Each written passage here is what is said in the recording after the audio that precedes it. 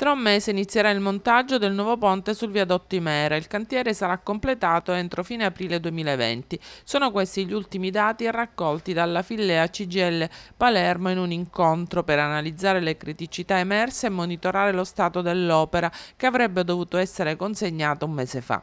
I materiali per la costruzione del viadotto sono già arrivati e il montaggio è affidato ad un'impresa agrigentina. La Fillea ha voluto verificare sul posto i motivi del ritardo all'incontro con il contraente generale sono state fornite rassicurazioni sul rispetto dei tempi. L'opera di 8 milioni di euro si trova al 40% della sua realizzazione. Il cantiere sulla 19 è partito a maggio del 2018.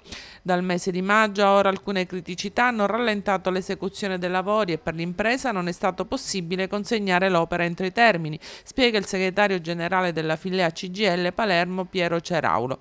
Una delle condizioni che ha determinato il ritardo riguarda l'ubicazione pianificazione del cantiere. La messa in sicurezza e il ripristino del nuovo viadotto sono andati avanti a rilento a causa dell'intasamento del terreno per la frana che ha causato il crollo e perché il cantiere si trova sul letto del fiume Mera. Malgrado le difficoltà, la File ha potuto verificare il completamento dei nuovi piloni che serviranno alla posa del viadotto.